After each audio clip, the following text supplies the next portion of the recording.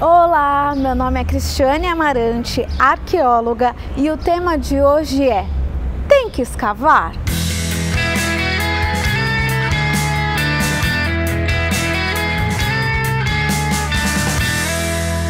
Em um outro vídeo eu expliquei o que é escavação e como nós arqueólogos e arqueólogas trabalhamos com essa metodologia, que é bem própria da arqueologia mas nem sempre tem que escavar.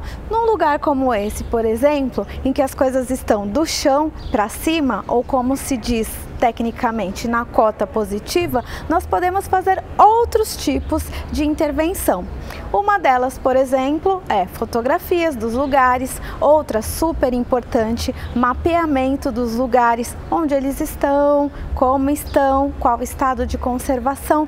E aí sim se utilizam livros, informações, se cruzam essas informações e nós podemos entender melhor esses sítios arqueológicos.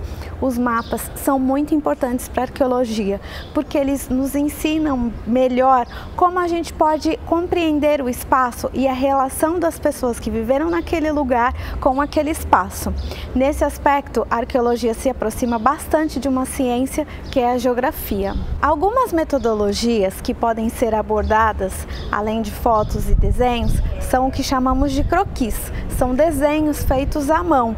Nos croquis nós observamos melhores detalhes das estruturas, coisa que nem sempre é possível observar nas fotografias. Esses croquis e desenhos e toda essa metodologia para o que está na cota positiva pode ser usado na arqueologia histórica, em construções arquitetônicas, mas também na arqueologia pré-histórica, quando nós temos montes de conchas, por exemplo, que são acima do chão, ou quando nós temos é, monumentos parecidos com Stonehenge, ou quando nós temos aquelas famosas linhas de Nazca. Falando nas linhas de Nazca, uma outra metodologia ainda pode ser usada, que são as fotos aéreas feitas por meio dos helicópteros, que dão uma outra informação para nós arqueólogos e arqueólogas. Esse é o nosso assunto de hoje. Eu espero que você tenha gostado e se gostou, se inscreve aqui no nosso canal, curte, compartilha e curte a nossa página no Facebook,